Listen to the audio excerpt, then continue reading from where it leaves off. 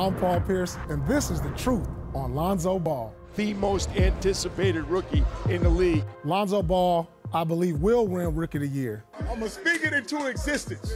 He's going to play all the minutes. He's going to have the ball in his hands the whole time.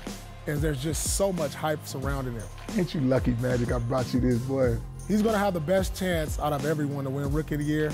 And I truly believe he will. He messed around and got himself a triple-double. Is Lonzo Ball the next Jason Kidd? I would not go that far. Jason Kidd is one of the greatest players we've ever seen. Let's give this kid some time. You know, maybe over time he can prove he's close to Jason Kidd, but I don't see it right now. This is all about them bees, billions. The big baller brand is about to blow up. We see the NCAA investigation with these shoe companies.